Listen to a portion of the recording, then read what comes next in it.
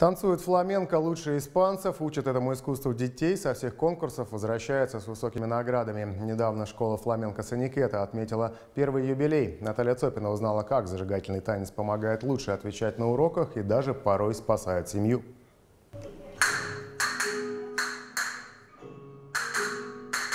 Полифония ритмов и сложность, от которой захватывает дух. Так говорит об этих танцах хореограф Элеонора Фалькова. С фламенко она не расстается уже девятый год выражать свои бурные эмоции, оставаясь вот в четкой пульсации, четко понимая свое место внутри танца, внутри куплета, внутри пения.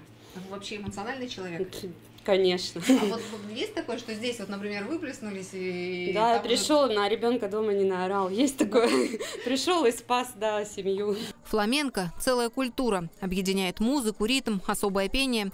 Здесь уверяют, случайные люди, равнодушные, не приходят. Погружаются так, что порой меняется даже характер. Интроверты становятся общительными, с удовольствием отвечают у доски и дают интервью. Фламенко мне помогает просто раскрыться, больше стать общительной. Только во фламенко я смогла по-настоящему раскрыться и показать свои чувства. В балете у меня этого, ну, можно сказать, что я не смогла этого достичь. Особая гордость школы – детские группы. Их здесь три. «Ла Алегрия» – радость, «Ла Фиеста» – праздник и «Ла Санриса» – улыбка. Фламенко называют одним из самых сложных в мире танцев. Маленьким детям непросто. Берут с 7 лет, педагоги объясняют образно, увлекают. Техника – это еще не все. Воспитанники отмечают, движение можно выучить, а вот эмоции надо прочувствовать. Приходит это не сразу, зато потом этим хочется делиться. Я обожаю выступать, я обожаю это волнение перед выступлением всегда, а потом, после того, как ты станцевал, ты ощущаешь э, такой драйв, что хочется еще и еще танцевать, и ты зажигаешься от зрителя, он смотрит на тебя, ты пытаешься отдать ему все, что у тебя есть, и это незабываемо. Грамоты в этой школе уже не считают. Говорят, точно больше ста дипломов лауреатов и победителей конкурсов.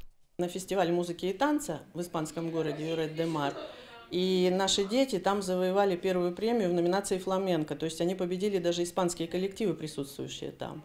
И мэр города, когда нам вручал на галоконцерте кубок, он просто сказал «Новосибирск я это слово вообще впервые слышу, только вот здесь я его узнал. Как они могут на таком высоком уровне владеть нашим испанским искусством фламенко? Он был восхищен просто. С помощью фламенко можно исполнить не только страсть, все чувства. Потому и видит зритель не просто танец, настоящий спектакль. Преподаватели уверяют, научить можно человека любого возраста, комплекции и пола. Главное – чувство ритма и желание танцевать. Наталья Цопина, Олег Сурков, Новости ОТС.